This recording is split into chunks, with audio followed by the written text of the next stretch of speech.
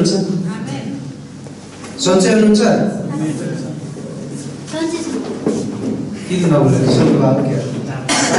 यत्रो सरको अनुहार हेर्नलाई पुरा कति तर्केर बसिरहेको कति दिनपछि आउनुभयो भनेर विचार गर्छु भएको होइन। के हो? हो र? यत्रो माया लाग्छ सरको पनि? ल धन्यवाद त्यसो भए होइन? हुन्छ हामी आज बिस र एक्काइस क्लासमा छौँ। रोमीको पुस्तकसँग सिद्धिएको छ होइन?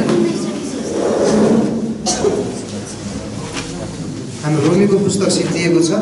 आज हामी पहिलो कुरन्थीको पुस्तकलाई हेर्नेछौँ र हामी सरस्वती रूपमा। हाम्रो जनवरी पन्ध्रको पन्ध्रभित्र नै हामीले क्लासहरू सिद्ध्याउनु पर्नेछ। त्यो भएको कारणले पनि हामीहरूले चालिसवटा क्लास गर्ने भनेका छौँ। चौतिस पैँतिसवटा क्लासमा सायद सिद्ध्याउनु पर्छ होला होइन? हुन्छ हामी पहिलो कुरन्तीको पुस्तकलाई हेर्नेछौँ आज। पहिलो कुरन्तीको पुस्तक कतिजनाले पढेर सिद्ध्याउनु भयो कतिजनाले सिद्ध्याउनु पढेर। कसैले छैन? त्यसमा एक घन्टा पढ्ने समय दिनुपर्छ क्या? यदि आफै पढ्नु भएन भने बुझ्नुहुन्न क्या पढाएर। किन भन्दाखेरि यो यो कुराहरू छ भनेर मात्र पढाउनु त्यो भएको कारणले गर्दा तपाईँहरूले पहिले नै पढ्नु ल आउनुहुन्छ हामी पहिलो कुरा को? पुस्तक होइन? कसले लेखेका हुन् रे? कसले पावलले। होइन होला। होइन होला। हो र? साँच्चै हो। त्यो हो कि क्या हो? पावलले होइन? पहिलो ग्रन्थीको पुस्तक कसले लेखे रे? पावलले लेखेका हुन्। र कोरन्थी भनेको के हो?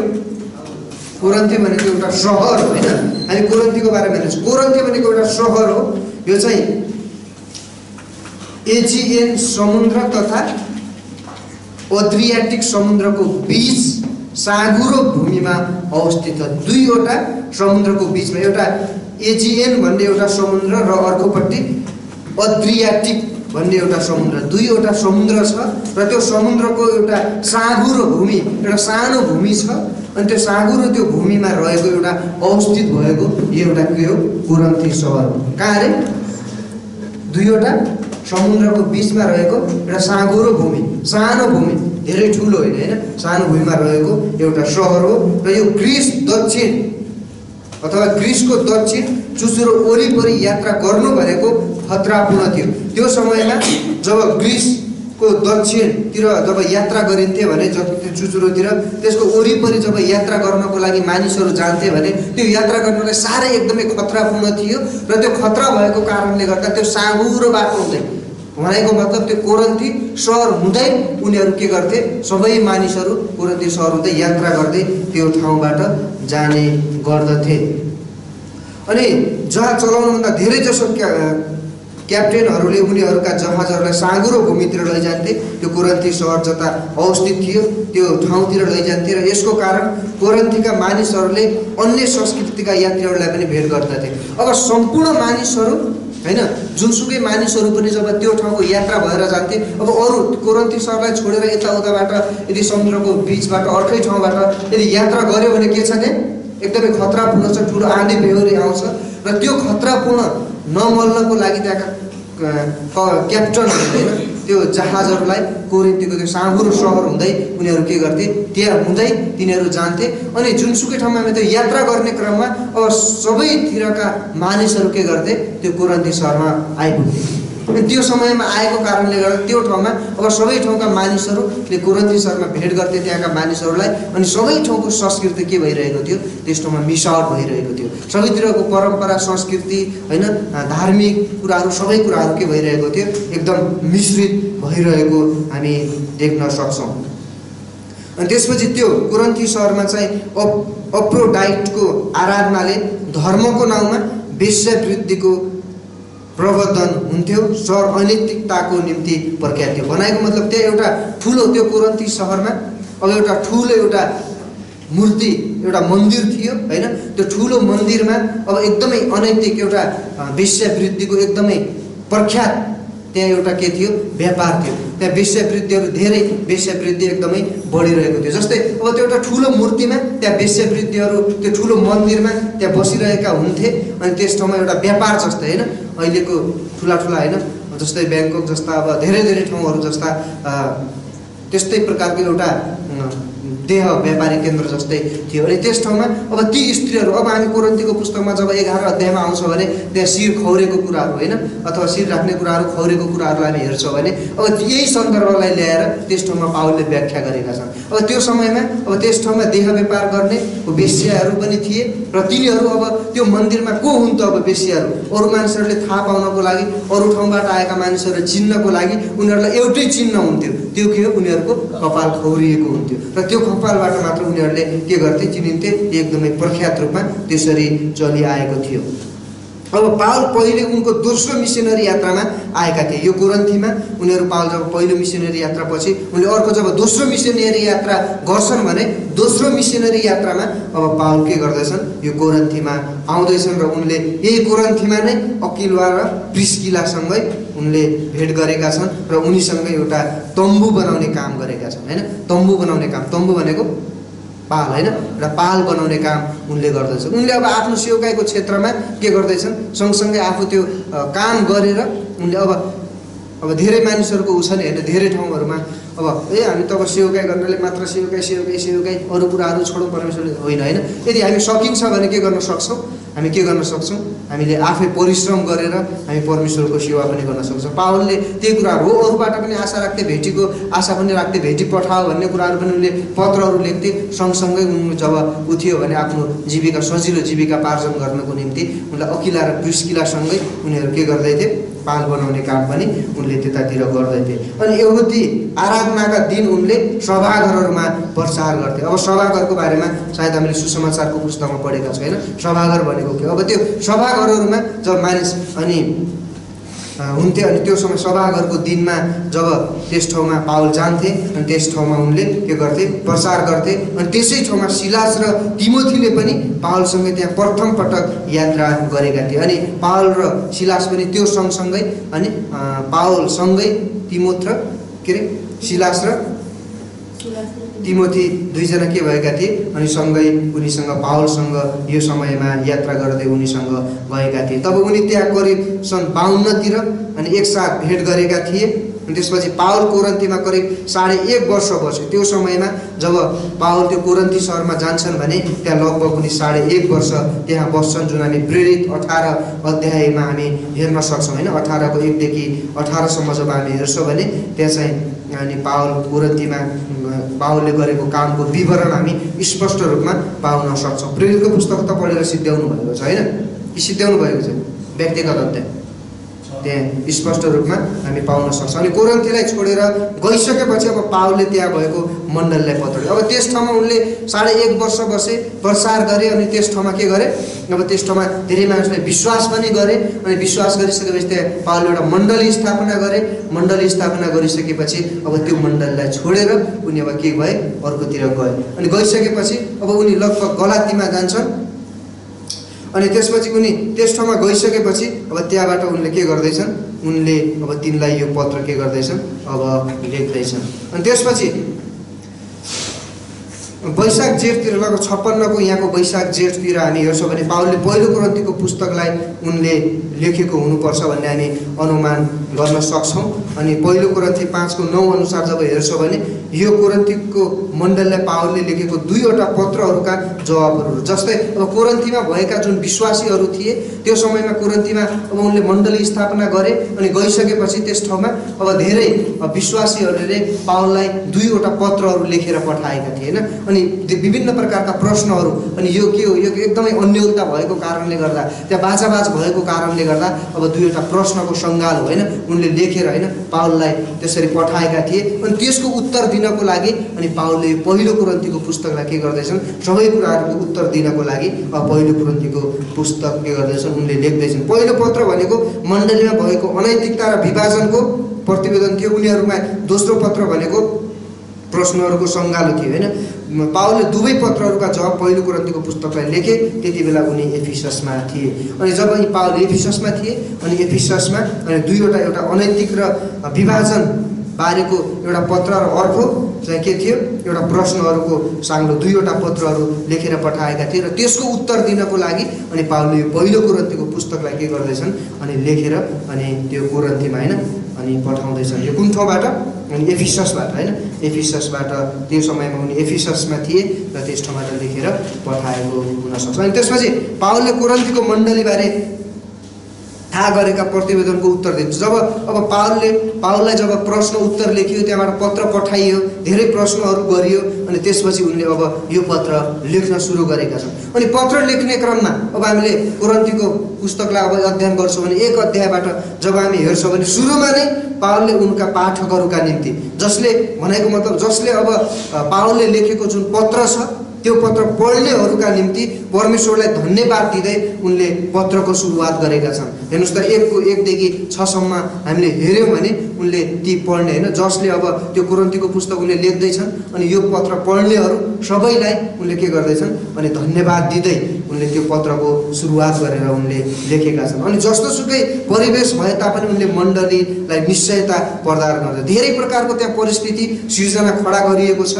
तर पनि उनले के गर्दैछन्? निश्चयता प्रदान गर्दछन्। एकको हामी सातदेखि नौमा जब हामी हेर्छौँ भने। त्यसपछि अनि एक अध्यायको एकदेखि नौसम्म जब हामी हेर्छौँ भने उनले धन्यवाद दिँदै पत्रको सुरुवात गर्दछन् भने अब त्यसपछि हामी एक अध्यायको दसदेखि चार अध्यायको एक्काइससम्म जब हामी हेर्छौँ भने त्यहाँ कोरन्थीका कोरन्थीका मण्डलीमा भएको एक अर्कामा सहमत नभएका झुन्डहरू छन् होइन? हामीले एकको दसदेखि सत्रमा दसदेखि सत्रको एउटा अब खण्ड हेर्छौँ भने अब कोरन्तीको मण्डलीमा एक अर्कासँग सहमत नभएका त्यहाँ झुन्डहरू छन् होइन? जसले के भइरहेको छ मनमुटा भइरहेको छ तिनीहरू वाद विवाद गरिरहेका छन् र मण्डलीमा विभाजन भएको प्रतिवेदन पाउलले अब प्राप्त गर्दछन्। अब एक यहाँ एकको एघारमा पढाउन यहाँ के भनिएको छ होइन? किनकि मेरा भाइ हो तिमीहरूमा झगडा छ भन्ने कुरा क्लोएका परिवारले मलाई खबर दिएका छन्। अब तिमीहरूमा के छ? झगडा छ। तिमीहरूमा मेलमिलाप छैन। तिमीहरूमा के छ? अन्यलता छ। भन्ने कुराहरू मैले थाहा पाएको छु मैले सुनेको छु होइन? मलाई यो खबर दिएको छ।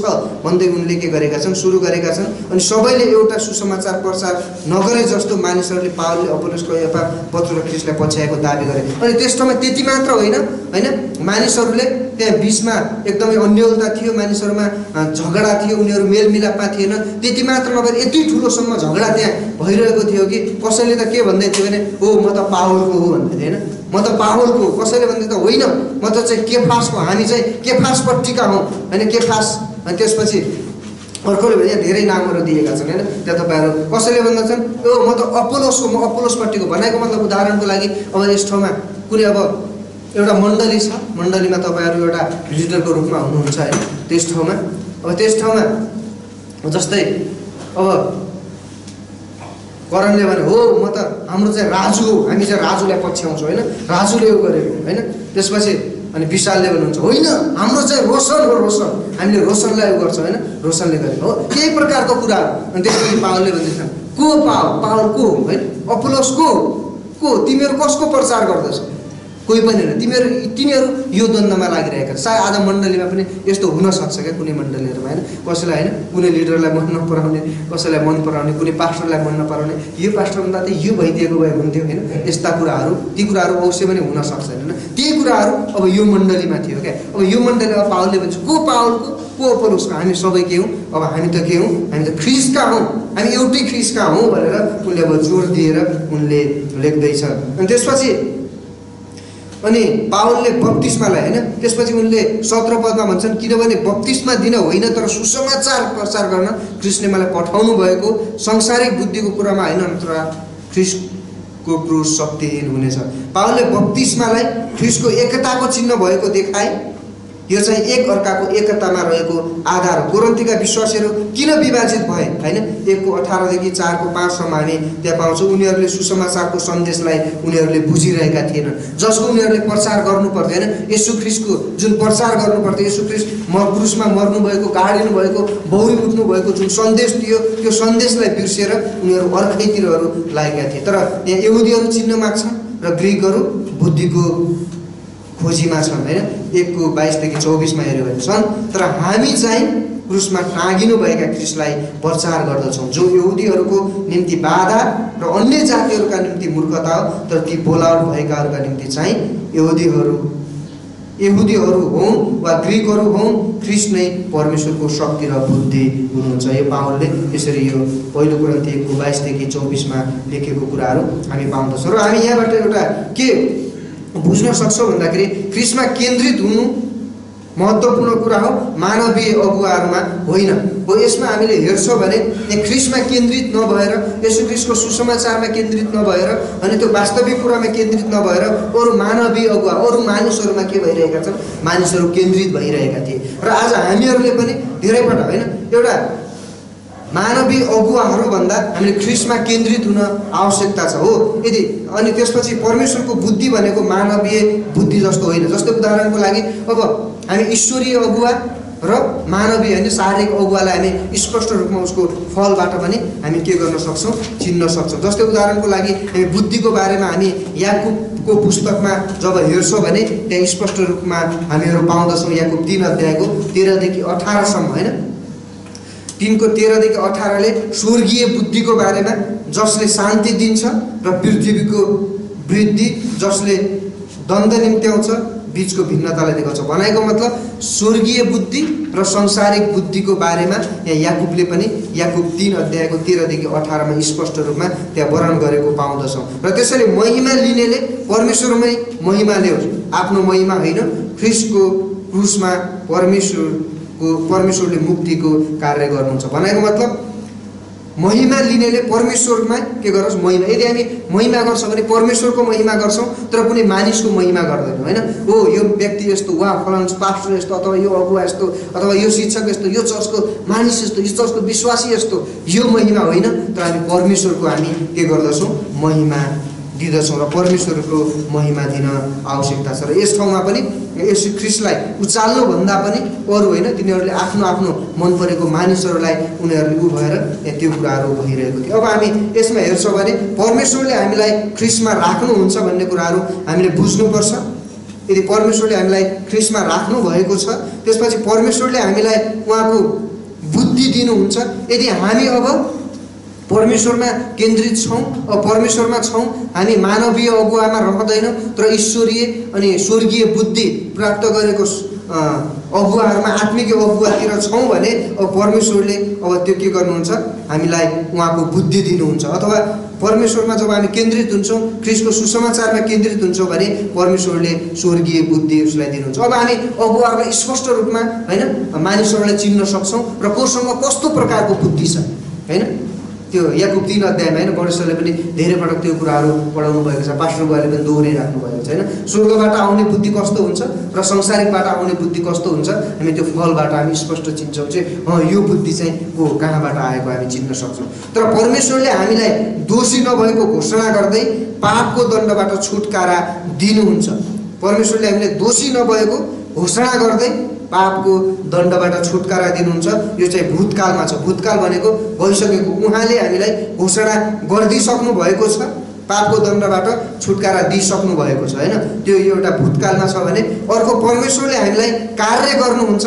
हामीलाई पवित्र पार्दै पापको सामर्थ्यबाट बचाउनुहुन्छ जुन चाहिँ वर्तमान काल हो होइन? भनेको मतलब अब अहिले हामी परमेश्वरले हामीलाई हामीमा एउटा कार्य गर्दै हुनुहुन्छ। दिन प्रतिदिन निरन्तर उहाँले हामीभित्र एउटा कार्य गर्नुहुन्छ हामीलाई पवित्र पार्दै उहाँले जानुहुन्छ अनि पापको सामर्थ्यबाट अब हामीले के गर्नुहुन्छ उहाँले बचाइ राख्नु भएको छ। यो वर्तमान कालमा निरन्तर रूपमा चलिरहेको छ भने अब अर्को चाहिँ परमेश्वरले मुक्तिको मोल चुकाउनुहुन्छ। र पापको उपस्थितिबाट हामीलाई बचाउनुहुन्छ। यो चाहिँ भविष्यकाल भनेको मतलब परमेश्वरले मुक्तिको मोल के गर्नुहुन्छ? चुकाउनु भएको छ र पापको उपस्थितिबाट जब हामी खडा हुन्छौँ हामीलाई उहाँले के गर्नुहुन्छ? बचाउनु हुनेछ। त्यो समयमा उहाँ यीशु ख्रिस्ट के हुनुहुनेछ। त्यहाँ खडा हुनुहुनेछ र हामीलाई त्यो दण्डबाट उहाँले बचाउनु हुनेछ। यो चाहिँ भविष्यमा हुने कुरा हो। अब यस ठाउँमा हामी मानवीय विचारद्वारा हामी परमेश्वरलाई जान्दछौँ। ख्रिस्टले हामीलाई परमेश्वर प्रकट गर्नुहुन्छ। हाम्रा आफ्नै विचारमा हामीले घमण्ड गर्न सक्दैनौँ। हितोपदेशले तिन किसिमका मानिसहरू र परमेश्वरबाट उनीहरूका ज्ञानलाई बताउँदछन् होइन? हितोपदेशको पुस्तकमा जब हेर्छौँ भने त्यहाँ तिन किसिमका मानिसहरूलाई हामीहरू हेर्दछौँ। पहिलो पहिलो मानिस भनेको बुद्धिमानी र ज्ञानी। जुन एउटा बुद्धिमानी र ज्ञानी मानिस जुन व्यक्तिले परमेश्वरको आज्ञालाई जानेको हुन्छ र त्यसलाई जीवनमा प्रयोग गर्न खोज्छ। हितोपदेश एकको बिसदेखि तेत्तिस। छिटो भइरहेछ। छिटो भइरह एकदमै छिटो। फेरि म आफ्नो गति बिर्सेँ जस्तो छु होइन हुन्छ अब बिस्तारै जान्छु। हामी जब परमेश्वरको बुद्धि होइन परमेश्वरको बुद्धिको बारेमा जब हामी हेर्छौँ भने त्यहाँ हितोपदेशको पुस्तकमा होइन तिन किसिमका मानिसहरू र परमेश्वरले उनीहरूको ज्ञानलाई बताएको कुराहरू पाउँछौँ। पहिलो चाहिँ बुद्धिमानी र ज्ञानी मानिस होइन? बुद्धिमानी र ज्ञानी व्यक्तिले परमेश्वरको आज्ञालाई के गरेको हुन्छ अरे जानेको हुन्छ। ज्ञानी र बुद्धिमानी मानिसले परमेश्वरको आज्ञालाई जानेको हुन्छ र त्यसलाई आफ्नो जीवनमा के गर्छ? प्रयोग गरेको हुन्छ निरन्तर उसले के गर्छ? आफ्नो जीवनमा उसले खोजी गरेको हुन्छ। हितोपदेश एकको बिसदेखि तेत्तिसमा। अनि त्यसपछि अर्को अबुद्धिमानी व्यक्तिले अर्को चाहिँ अबुद्धिमानी जुन व्यक्तिले परमेश्वरको आज्ञाको बुझाइ र ज्ञानलाई गुमाएको हुन्छ। जसले परमेश्वरको आज्ञा र परमेश्वरको आज्ञाको बुझाइलाई के गरेको हुन्छ? आ परमेश्वरको आज्ञाको बुझाइलाई र ज्ञानलाई उसले गु गुमाएको हुन्छ। त्यस्ता व्यक्तिहरू परमेश्वरको वचनमा आज्ञाकारी हुन सक्दैनन् होइन? यदि परमेश्वरको वचनको बारेमा थाहा पाए त तिनीहरू आज्ञाकारी हुन सक्दैनन्। हितोपदेश बाइसको तिन पदमा।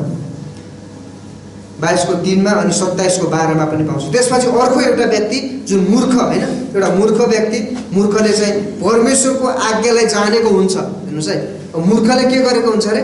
परमेश्वरको आज्ञालाई जानेको हुन्छ र उसले त्यसको विरुद्ध जाने छनौट पनि गर्दछ। परमेश्वरको आज्ञालाई जानेको हुन्छ थाहा छ परमेश्वरको आज्ञा के हो भन्ने कुराहरू तर पनि ऊ के हुन्छ अरे? उसकै विरुद्धमा जान्छ होइन? परमेश्वरले भन्नुहुन्छ चोरी नगर्नु उसले थाहा पाउँछ। वा परमेश्वरले भन्नुभएको छ चोरी नगर्नु होइन? चोरी गर्नुहुन्न। तर पनि म अब हो थाहा छ मलाई तर पनि इक्जाममा हो हेरेँ। के भयो? परमेश्वरको विरुद्धमा। त्यसो त हामी सबै परमेश्वरको विरुद्धमा कोही पनि छैन।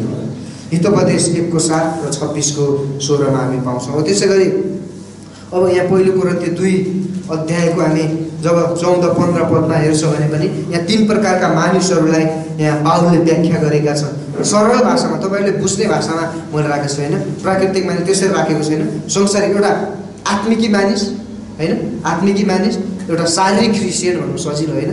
एउटा संसारिक मानिस होइन? स्वाभाविक प्रकृति भन्दा पनि एउटा सजिलो बुझ्नको लागि होइन?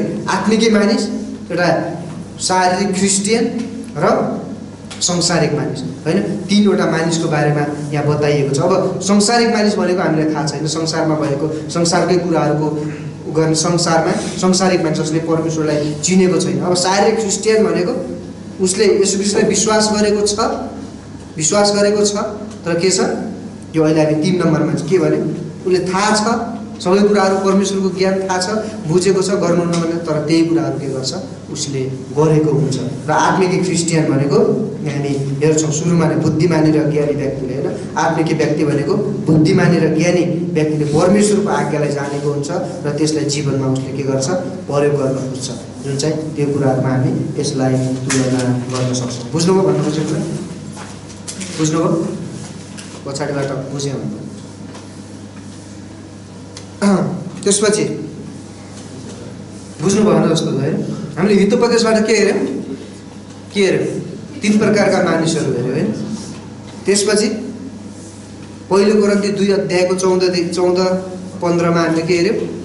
तिन प्रकारका मानिसहरू। र ती दुई प्रकारका र तिन प्रकारका मानिसहरूलाई मिलाउन सकिन्छ? सकिन्छ?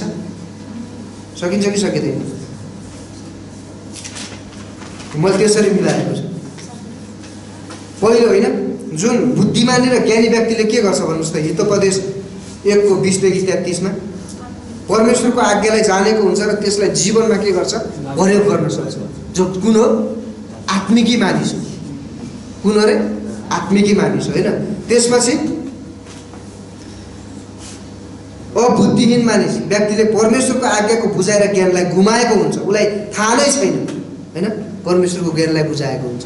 त्यो संसारिक होइन?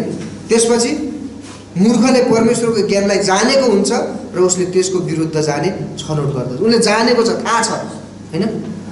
संसारिक क्रिस्चियनलाई थाहा छ होइन? हो सबै कुराहरू परमेश्वरको बारेमा सबै कुराहरू थाहा छ। तर पनि उसले आफ्नो जीवनमा त्यो प्रयोग गर्न खोज्दैन। त्यसै गरी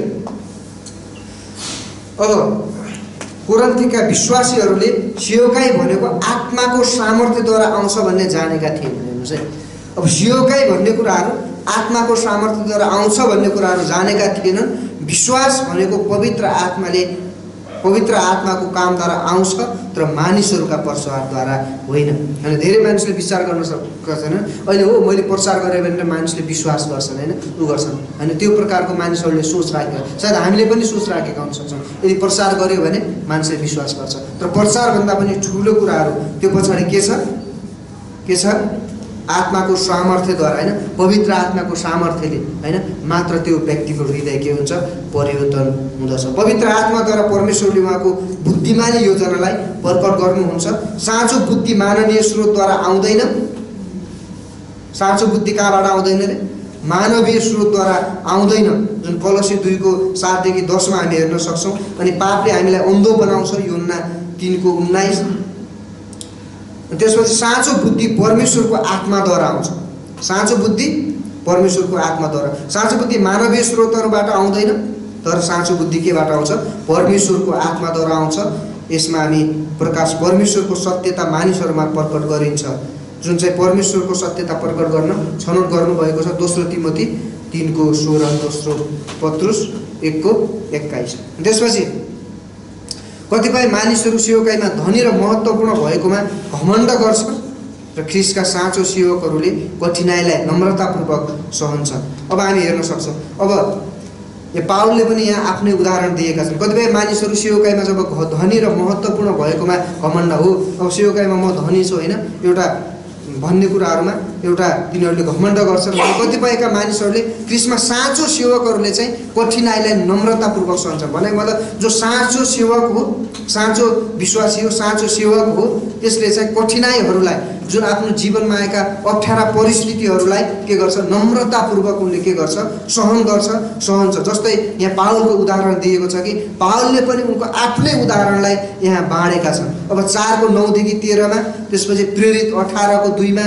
अनि प्रेरित बिसको चौतिसमा जब यहाँ हेर्छ भने अब पावलले पनि आफ्नो उदाहरणलाई त्यहाँ प्रस्तुत गरेका छन्। अब पावलको कठिनाइलाई हामी एकछिन विचार गर्न सक्छौँ होइन? त्यो कठिनाइलाई उनले उनले कसरी एउटा नम्रतापूर्वक उनले के गरेका छन्? स्वीकार गरेका छन् एउटा उदाहरण प्रस्तुत गरेका छन्। र विश्वासीको जीवनमा जहिले पनि तिनवटा कुराहरूबाट सतावट आउँछ होइन?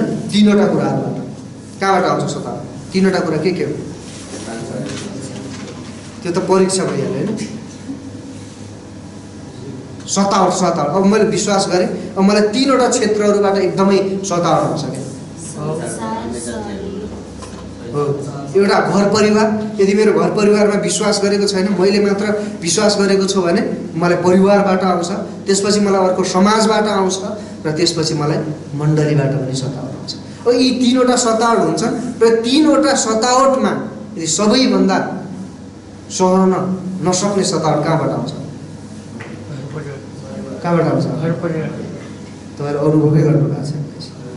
मण्डलीबाट आउँछ हो यदि मैले विश्वास गरेको कारणले गर्दा मलाई घरबाट निकाल्न सक्छन् सायद म घरबाट छोडेर जान सक्छु होइन? अनि त्यो अवस्थामा हुनसक्छ धेरै मान्छेले छोडेर पनि जान्छन् मैले विश्वास गरेको कारणले गर्दा। त्यसपछि अर्को समाजबाट हो समाजले जेसुकै गरौँ होइन? पाउलले पनि यहाँ गरेन होइन? जेसुकै गरौँ थुकन कुट्न अथवा गिल्ला गरौँ मतलब भएन। अब त्यसो यस्तो सता छ मण्डलीबाट। मण्डलीबाट आफ्नै विश्वासी भाइहरूबाट। अब हेपिनु पऱ्यो भने चेप्पिनु पऱ्यो भने अब सतावट भोग्नु पऱ्यो भने अब त्यो पीडा भनेको एकदमै खतरनाक अब यो पीडामा धेरै मानिसहरू टिक्न सक्दैन हो। समाजबाट उनीहरूले सहन सक्छन् परिवारबाट सहन सक्छन् र मण्डलीको सत्तावटबाट उनले सहन लाग्नुपर्छ र यदि मण्डलीको सत्तावटलाई सहन सक्छौँ भने मण्डलीबाट आएको सत्तावटलाई सहन सक्छ भने समाज र परिवारको सत्तावट आफ्नो निम्ति केही पनि केही पनि त्यसैले हो हामी आज छौँ सायद महसुस हामीले गरेका छैनौँ होला। भोलि जब हामी एउटा लिडरको रूपमा अथवा विश्वासीको रूपमा कुनै मण्डलीमा हुन्छौँ त्यो समयमा त्यो मण्डलीमा अवश्य पनि होइन? कुनै न कुनै कुराहरू आउन सक्छन् धेरै मानिसहरूले सेवकाई छोडेर किन जान्छन् थाहा छ? त्यही सतावटलाई खेप्न नसकेको होइन? एउटा त्यस सतावट मात्र होइन त्योभित्र अझ फेरि के के सुरक्षा नै के भन्छ? के भन्छ नि त्यसलाई? के अरे आफू के अरे असुरक्षित नभएको क्या इन्सिक्युरिटी होइन के भन्छन् त्यसलाई असुरक्षित महसुस गरेको कारणले पनि धेरै मानिसहरूले छोडेर जान्छ होइन अब यो कुराहरूमा यदि हामीले यो कुराहरूबाट बस्नको लागि एउटै कुरा हामीले हाम्रो जीवनमा गर्न सक्छौँ यदि कुनै सत्ता कुनै कुराहरू मण्डलीबाट हाम्रो विरुद्धमा आउँछ भने तब त्यतिखेर यो व्यक्तिले मेरो कुराहरू गर्यो भनेर कसैलाई केही नभनेर चुप्प लागेर बसिदिनुहोस् होइन? प्रार्थना मात्र गर्नुहोस् परमेश्वरमा राखिदिनुहोस् छोडिदिनुहोस् त्यो कुराहरूबाट तपाईँबाट आफै हराएर जान्छ यदि तपाईँको तपाईँको जीवनमा त्यो कुराहरू आउँछ यो मानिसले यस्तो गर्यो अर्कोलाई भन्नु जानु होइन यो गर्नुपर्छ निर्णय गर्नुपर्छ यो के हो त्यसको तपाईँ खोजी तलासी गर्दै जानुहुन्छ भने तपाईँ झन् झन् समस्यामा पर्दै जानुहुन्छ। तर जे गरोस् छोडिदिनुहोस् तपाईँ आफ्नै काममा लागिरहनुहोस् अवश्य पनि त्यसको के गर्नुहुन्छ? परमेश्वरले त्यसको न्याय होइन? लेखा लिनुहुन्छ। परमेश्वरले नै त्यो कुराहरू गर्नुहुन्छ। त्यसपछि अब हामीले पाँच अध्यायको तिन अध्यायमा तपाईँले मण्डली विभाजनका कुराहरू त्यही कुराहरू छन्। अनि ख्रिसका प्रेरितहरूको हामी यहाँ हेर्न सक्छौँ। त्यसपछि पाँच अध्यायको एकदेखि छ अध्यायको बिससम्म जब हामीले हेर्छौँ भने अब पापलाई व्यवस्था गर्नाले मण्डलीमा समस्या उत्पन्न हुन्छ भन्ने कुराहरूलाई यहाँ चाहिँ फोकस गरेको छ। जस्तै मण्डलीले जस्तै हाम्रो प्रभु ख्रिस्ट यसुको सामर्थ्य साथ एकसाथ भेला हुनु अनुशासन भनेको यसुको अधिकारमा आधारित हुन्छ मानिसहरूका विचारमा होइन। जस्तै पापलाई व्यवस्था गर्नाले सम्पूर्ण मण्डलीलाई चोट पुर्याउन सक्छ अनि पाँच अध्यायको एघार पद। बनाएको मतलब अब मण्डलीमा यहाँ पाँच अध्यायमा बेविचारको खण्डन गरेको हामी पाउँदछौँ र यसलाई स्पष्ट सर्टकटमा बुझ्नको लागि अब कुनै व्यक्तिले अब मण्डलीमा बारम्बार गल्ती गर्छ होइन? गल्ती गर्छ त्यो गल्तीलाई अब कुनै मानिसले व्यवस्था गरेर छोडिदिन्छ भने अब के हुन्छ? सम्पूर्ण मण्डलीलाई के हुनसक्छ? चोट पुग्न सक्छ अवश्य भने होइन? हेर त त्यो मानिस त्यस्तो गर्दाखेरि पनि भने कसैले केही भनेको छैन। यसरी गर्न दिएको छ है? त्यसले त गर्छ। भने अवश्य पनि अरू विश्वासीहरूमा चोट पुग्छ। र त्यो अवस्थामा यदि कसैले गल्ती गर्छ भने हामीले एउटा के गरिएको छ? प्रक्रिया दिएको छ। हामीले गल्ती गर्न बित्तिकै ए तिमी त अब जाउँ निस्क्यो तिमीले खराब गर्यो भन्ने कुराहरू होइन? अरूले अनुशासनमा राख्छन् जस्तै होइन? अब यति यति महिनासम्म भेटिहाल्न पाइन्न प्रभुभोजमा सामेल हुन पाइन्न। यो कुनै पनि कुराहरू पाइन्न। अलग्गै पछाडि बस्नुपर्छ होइन? उ गर्नुपर्छ भनेर अनि सबैबाट अलग बनाइन्छ। तर त्यो कुराहरू भन्न खोजेको होइन। तर अब यदि कसैले गल्ती गर्छ भने त्यसलाई जुन हामी होइन सुसमाचारी पुस्तकमा हामीले हेरेका थियौँ होइन सायद। त्यसमा प्रक्रियाहरू छन् होइन? पहिलो उसलाई भेट्ने त्यसपछि धेरै तिन चारवटा प्रक्रियाद्वारा हामी त्यसलाई गर्छौँ। यदि हामीले त्यो प्रक्रियाद्वारा गएनौँ र उसले पापमा हामीले छोडिदियो भने अवश्य पनि मण्डलीमा बिस्तारै त्यसको के हुन्छ? असर पर्न जान्छ। र त्यो कुराहरूलाई पनि हामीले वास्ता गर्नुपर्छ। के तपाईँले? त्यसपछि अनि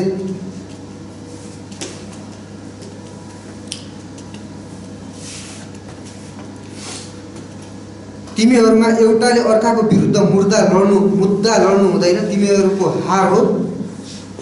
अरू अन्याय किन नसहनु? बरु किन ठगिए ठगिएर नै नबस्नु?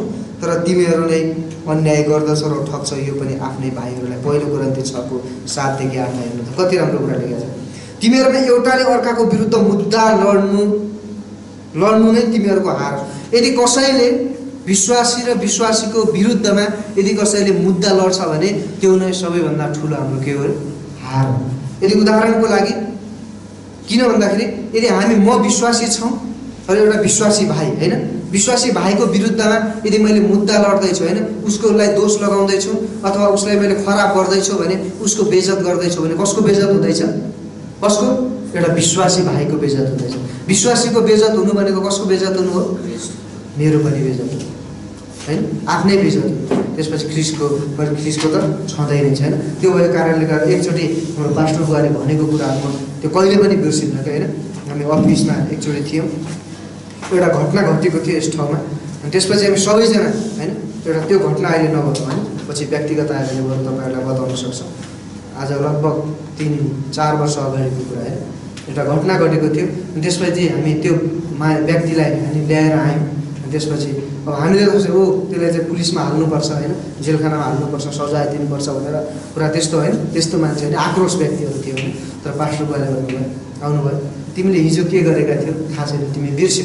सिधै त्यो त एउटा सपना थियो। तिमीलाई अब जेलखानामा हाल्न सजाय दिन मैले मेरो भाइलाई गर्न सक्छु। तिमी विश्वासी हौ म विश्वासी हौ तिमी भाइ हो भने मैले मेरो आफ्नो भाइलाई म गर्न सक्छु। यो हुन सक्दैन। तिमीलाई एउटै कुराहरू म गर्न चाहन्छु तिमी के गर बाइबल कलेज होइन तिमीले के गर्न आवश्यकता छ? म तिमीले बाइबल कलेज दिएको। सायद त्यो अवस्थामा हामी सायद क्षमा गर्न सक्थेन होला। कि हामी अवसर पनि राख्न सक्थेन होला। होइन? भनाइको मतलब होइन?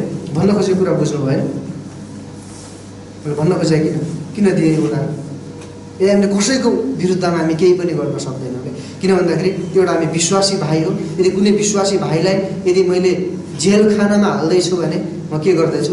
मैले आफ्नो पनि बेइज्जत गर्दैछु क्या। हो त्यो विश्वासी हेर त। त्यो मिलेर बस्नुभन्दा त्यो विश्वासी विश्वासीहरू बिच के भइरहेको छ? अब संसारका मानिसहरूले हामीलाई त्यो प्रकारले हेर्छ। हेर त बरु अन्याय किन नसहनु? बरु तिमीहरूले अरूको विरुद्धमा बोलेर आफ्नो भाइलाई उ गर्नुभन्दा बरु अन्याय सहेर नै बस्नु के छ? उचित छ बरु ठगिएर नै किन बरु तिमी ठगिएका छौ भने पनि ठगिएर नै बस्नु उचित। अनि परमेश्वरले विश्वासीहरूमा विश्वासीहरूका जस्तो सुकै पाप भए तापनि ख्रिसमा पवित्र पार्नुहुन्छ भन्ने कुरा पावलले आफ्ना पाठकहरूलाई स्मरण गराउँछ।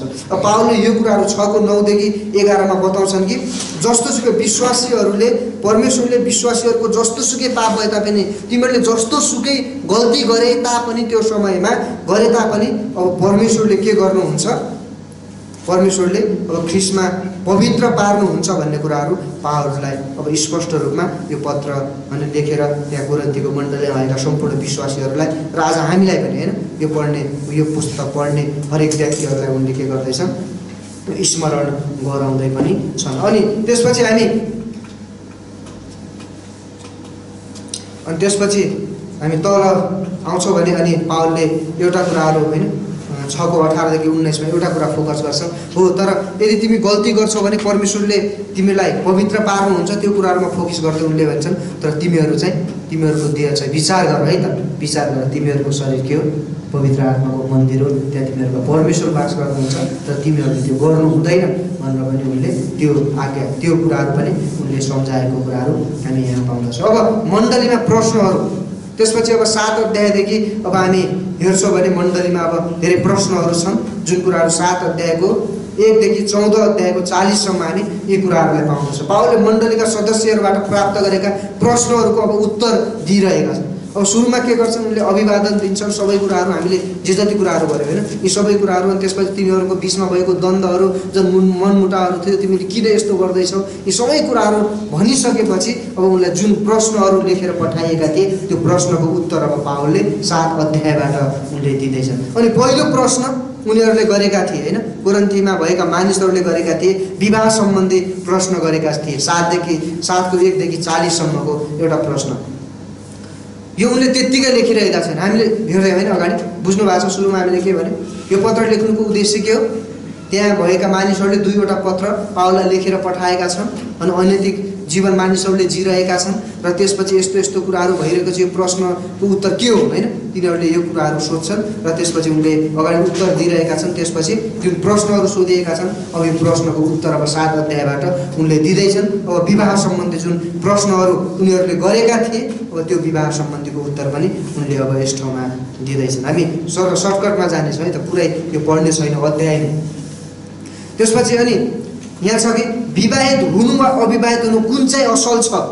कुन चाहिँ असल छ? सायद यो प्रश्न उनीहरूले गरेका थिए। यदि अनैतिकता परीक्षा हुन्छ भने अविवाहित हुनु असल हुन्छ। त्यसरी नै पति र पत्नीले एक अर्कालाई उनीहरूका हकबाट वञ्चित गर्नुहुन पावलको व्यक्तिगत विचार रहेको छ तर यो परमेश्वरको आज्ञा होइन। व्यक्तिगत विचार छ तर परमेश्वरको आज्ञा होइन सातको छदेखि नौमा हामीहरू पाउँदछौँ। तर पनि अनि पावलले अन्तिममा गएर भन्दछन् तर पनि मलाई विश्वास छ मलाई थाहा छ कि परमेश्वरको आत्मा केमा आउनुहुन्छ ममा आउनुहुन्छ यहाँ विवाह सम्बन्धी विवाह गर्न उचित छ असल छ कि छैन भन्ने कुराहरूलाई लिएर आउँदाखेरि उनले भन्दैछन् यदि तिमी सहन सक्छौ यदि काम वासनामा जल्दैनौ यदि रहन सक्छौ यदि सेवकाईको खातिर तिमी यदि सुसमाचारको खातिर यदि तिमीहरू विवाह नगरेर रहन सक्छौ भने विवाह नगर्नु नै असल हो। र यदि तिमी रहन सक्दैनौ होइन? रहन सक्दैनौ र काम वासनामा जल्छौ भने र तिमीले विवाह गर्नु असल हो भनेर उनले स्पष्ट रूपमा त्यहाँ एउटा सात अध्यायमा उनले स्पष्ट उत्तर दिएको हामी पा पाउँछौँ भने त्यसपछि एउटा दोस्रो दोस्रो प्रश्न उनले गरेका छन् पारपाचुके सम्बन्धी होइन? पारपाचुके भनेको के हो? छोडपत्र सम्बन्धी। उनले छोडपत्र सम्बन्धी के त भन्ने एउटा अर्को प्रश्न पनि उनले के गरेका छन् अनि पस्केका छन् होइन? त्यहाँ प्रश्न त्यहाँ छ अनि त्यो प्रश्नको उत्तर पनि उनले दिएका छन्। पत्नी अलग हुनु हुँदैन। भनेको मतलब? विश्वासी पति पत्नीले एक अर्कालाई छोड्नु हुँदैन। यो परमेश्वरबाट दिएको आज्ञा हो। पावलबाट होइन सातको दसदेखि एघार कसबाट हो रे परमेश्वरबाट दिएको आज्ञा हो पाहुलबाट होइन यो चाहिँ परमेश्वरले दिनुभएको आज्ञा हो। यदि विश्वासीले विश्वासी पति होस् वा पत्नी होस् विश्वासीले के गर्नु हुँदैन छोड्नु हुँदैन।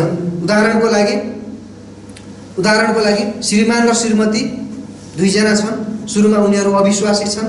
अब अब उसको श्रीमानले विश्वास गर्यो अब श्रीमानले विश्वास गरेको कारणले मेरो श्रीमतीले विश्वास गरेर म छोड्छु भनेर उसले अलग बस्नु होइन होइन? के हो उसले बस्ने अथवा पत्नीले विश्वास गर्यो म पतिसँग छुटेर बस्छु होइन? तर उनले के गर्नु? मिलेर बस्नुपर्छ भन्ने कुराहरूलाई उसले देखाएको सायद त्यो मण्डलीमा त्यही थियो होला होइन? अनि विश्वास गरे हे उसले मेरो भनेको मानेन विश्वास गरेर म त अलग बस्छु भन्ने कुरा। यी प्रकारका समस्याहरू सायद खडा भएको थियो होला। त्यसैले पावरले तलतिर होइन? सात तलतिर के भन्छ भन्दाखेरि के थाहा होइन? तिम्रो कारणले गर्दा पछि तिम्रो अविश्वासी पति वा अविश्वासी पत्नी बाँच्छ कि अथवा क्रिस्टलाई चिन्छ कि होइन? छ होइन ती कुराहरू बढेको हामी थाहा पाउँछौँ ती कुराहरू लेखेको। अनि त्यसपछि पावलले अविश्वासीले विश्वासीलाई विवाह गरेको कुराहरू बताउँछन्। के कुराहरू? अविश्वासीले विश्वासीलाई विवाह गरेको कुरा बताउँछन् तर यो परमेश्वरबाट दिएको आज्ञा होइन। विश्वासीहरू विवाह भएर रहनु पर्दछ तर विश्वास नगरेर दम्पति चाहिँ छोडेर जान सक्छन्। भनेको मतलब अब यदि मैले विश्वास गरेको कारणले गर्दा मेरो श्रीमतीले छोडेर जान्छ भने के होस्? छोडेर तर मैले छोड्ने होइन तर यदि उसले छोडेर जान्छ भने उसले के होस्? छोडेर जाओस् भनेर स्पष्ट रूपमा उनले के गर्दैछन्?